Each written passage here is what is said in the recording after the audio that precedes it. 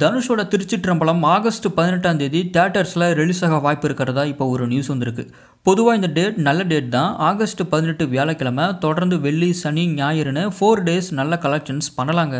ஆனால் இங்கே வரப்போகிற பிரச்சனையே ஆகஸ்ட் பதினொன்றில் கோப்ரா ரிலீஸ் ஆகும்னு ஏற்கனவே அஃபிஷியலாக அனௌன்ஸ் பண்ணிட்டாங்க.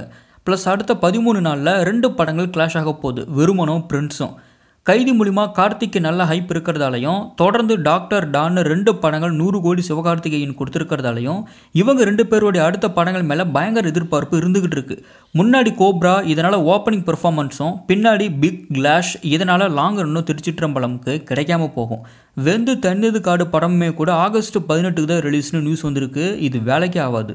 என்னோட ஒப்பீனியன் ஏற்கனவே ஓடிடியில் ரிலீஸ் ஆன மாறன் பயங்கர நெகட்டிவ் ரெஸ்பான்ஸ் தான் ஆடியன்ஸ் கொடுத்தாங்க. ஸோ இந்த திருச்சிற்றம்பலமை எந்த ஒரு மூவியும் கிளாஷ் ஆகாதபடி ஒரு நல்ல டேட்டில் ரிலீஸ் பண்ணுறது தான் பெஸ்ட் இந்த டேட் ஜஸ்ட் ஒரு நியூஸாக தான் இருந்துக்கிட்டு இருக்கு. அஃபிஷியலாக கன்ஃபார்ம் ஆகலை. சன் பிக்சர்ஸ் எந்த மாதிரியான பிளான் போட போகிறாங்கன்னு வெயிட் பண்ணி பார்ப்போம். திருச்சிற்றம்பலமை ரிலீஸ் பண்ணால் ஒரு நல்ல டேட் எதுவாக இருக்கும்னு கீழே கமெண்ட் பண்ணுங்கள் நான் சொன்ன இன்ஃபர்மேஷன் உங்களுக்கு சாட்டிஸ்ஃபையாக இருந்தால் ஷேர் பண்ணுங்கள் சப்ஸ்கிரைப் பண்ணுங்கள் சினி எக்ஸ்ப்ளோர் சேனலை